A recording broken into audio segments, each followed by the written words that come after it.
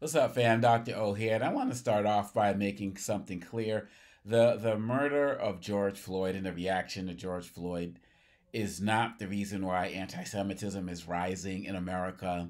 It's not the reason why all of these ridiculous Dr. Claudine Gay is not the reason why anti-Semitism is on the rise in America. They are not, and DEI is not the reason why America's on the decline or going backwards and so on and so forth. One of the challenges we're seeing in, in the wake of, of, of Dr. Gay, Gay resigning is that Republicans are winning the narrative war, and this is what people meant even after the Civil War when they talked about the North won the uh, won the war, but the South won won the peace. And what they're talking about, as Dr. Bryan Stevenson said, with Jon Stewart's podcast was that you know conservatives and the like are, are winning the narrative war.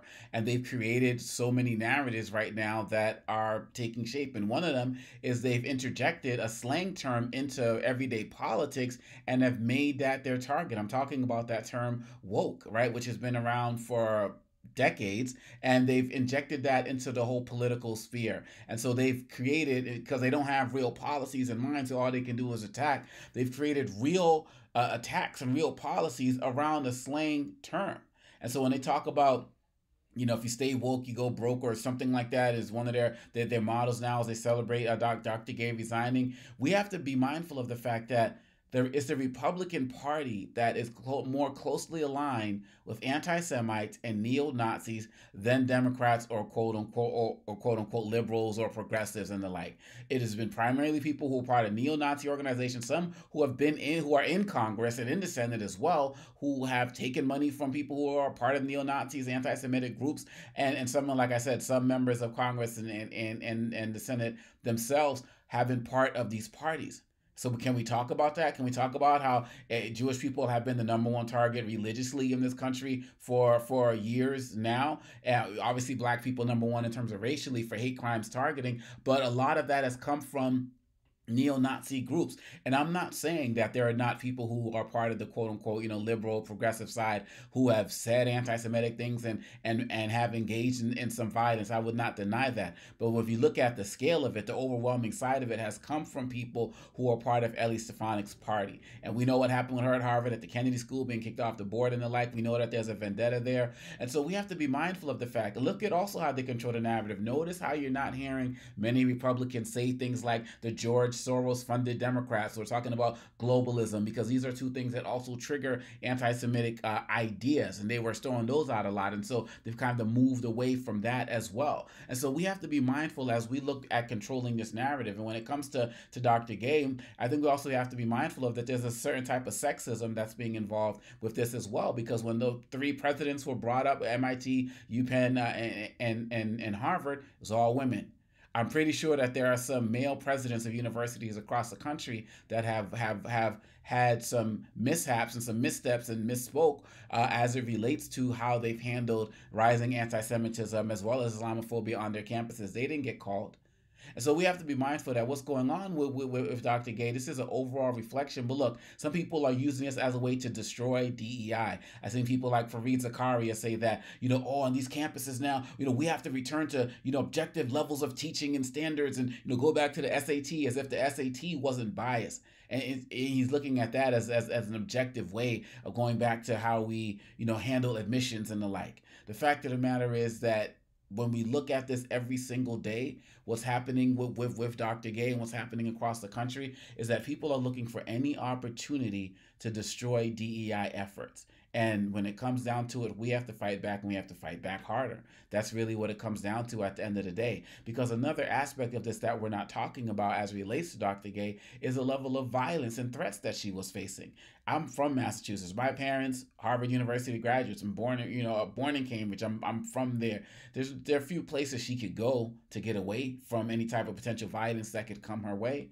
And so, you know, the Harvard board mentioned that today. But how, how could she maintain herself? Because one of the tactics that these so-called conservatives use in their in their attacks on DEI is the threat of actual attacks on people practicing DEI who support it. And so we have to understand that this is a this is an attack and this is also coming off of the affirmative action decision as well. This is an attack on, on, on blackness. This is an attack on creating communities where everybody can be celebrated and not tolerated. This is an attack on people who are trying to make america be as good as it's promised for everybody. And so it's, it's extremely unfortunate what's happened with, with dr gay but this could be a wake-up call for all of us who do this work to be louder and more vocal in reclaiming the narrative on what it means to create an inclusive society in this country, or what it means to support and have diversity, equity, and inclusion. Stop letting people use that as a scapegoat because people just want this country to be whiter and lighter every single day and want to ignore our history. So, all of us,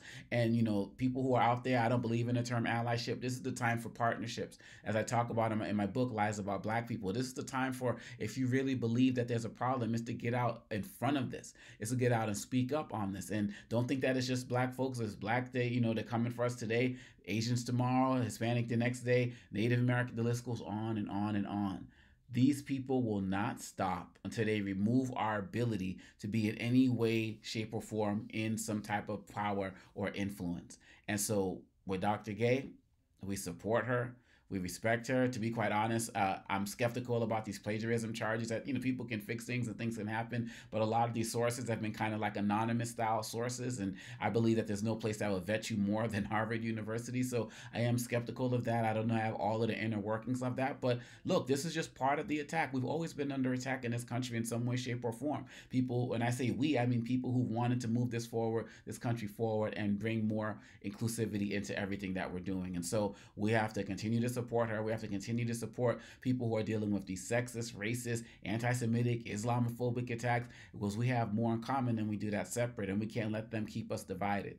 And so we carry on, we push forward. I do firmly believe that this would not be happening if it was a, a, a white man, even if he said things wrong in a setting at, at Congress, and even if there was some accusations of plagiarism. I just don't believe that would be the case. But here we are in America, where people say as black people, we have to work twice as hard just to get half as much, and just to maybe be in positions half as long, not even half as long. It's like a, a quarter as long. And so let's keep going. Let's be motivated. Let's be energized in 2024. Let's do more in 2024 to make sure people know that we're here, we're not going anywhere, and we're going to continue to build a coalition to target the ignorance and hate. So, like I said, we can continue to build that community where everybody is celebrated and not tolerated. We got this. Peace.